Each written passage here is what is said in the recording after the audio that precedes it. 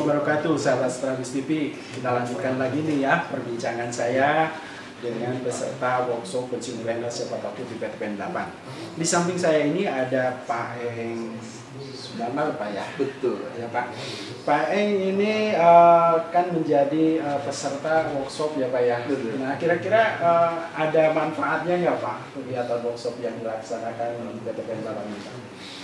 Eh, Alhamdulillah ya menurut saya ini ini adalah sesuatu hal yang sangat bermanfaat sekali dan ini eh, sesuatu hal yang wajib diberikan untuk teman-teman saya semua dan juga barangkali mungkin untuk seluruh karyawan yang akan mempersiapkan untuk purna karya atau pensiun. Nah, mengenai paparan tadi Pak eh, Dr. Mary Zahendri, kira-kira menurut Bapak gimana Pak? Eh, menurut saya selama saya mengikuti workshop ini beliau memberikan dan menyampaikan materi cukup efektif terus juga cukup jelas dan dapat dipahami oleh seluruh peserta workshop terutama saya yang mengikutinya Ngomong-ngomong, Bapak sudah melakukan bisnis sekarang? Alhamdulillah udah Pak Sudah, saya Pak, ya? saya memulai tahun 2013 bersama istri saya Oh, alhamdulillah.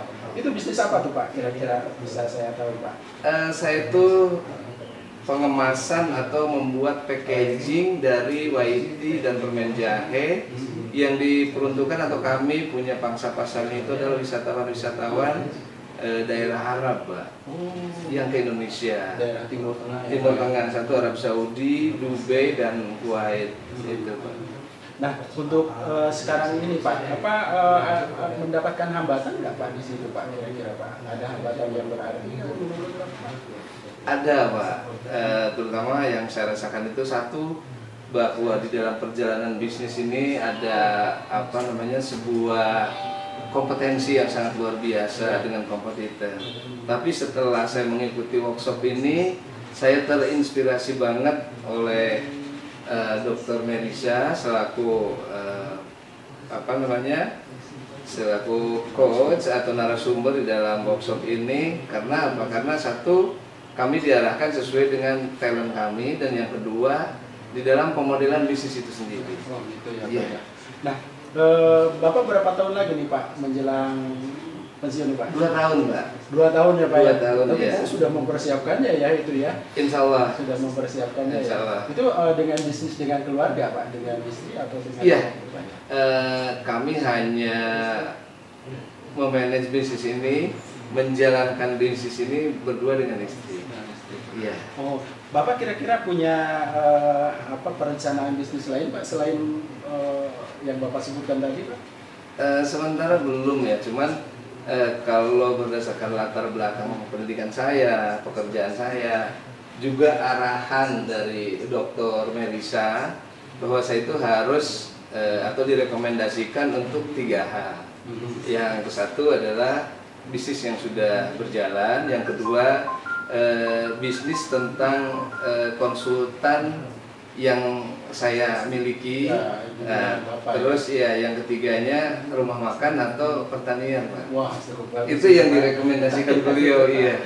Nah, kira-kira ada tips khusus nggak nih untuk teman-teman nih yang em, baru mau melakukan atau yang masih ragu-ragu untuk melangkah eh, ke jenjang masa pensiun ya Pak? Pensiun. Eh, Kira-kira tip apa nih Pak yang mungkin bisa Bapak sampaikan Pak ke teman-teman? Barangkali sederhana ya untuk saya itu satu kita optimis, tidak takut untuk menghadapi masa pensiun nanti, terutama setelah kita mengikuti workshop ini.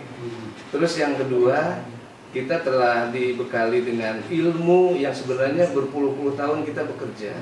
Nah, tadi beliau menginspirasi saya, Dr. Merisa itu harus kita menduplikasi manajemen yang telah di driving oleh eh, direksi-direksi kita selama kita bekerja, ya, ya, dan dilakukan di dalam bisnis kita, Pak. Wah, Itu. Wah, sangat luar biasa. Iya. Oke, terima kasih Pak Eng eh, perbincangan saya dengan Bapak Sama-sama. dan eh, saya harapkan bisnis Bapak bisa berjalan dengan Amin. bagus. Amin. Gitu ya. Oke para sahabat, itulah perbincangan saya dengan Pak Heng selaku uh, peserta workshop pensiun penasihat takut. Assalamualaikum okay. warahmatullahi wabarakatuh. Waalaikumsalam. Terima kasih, Pak. Sama-sama, Bapak.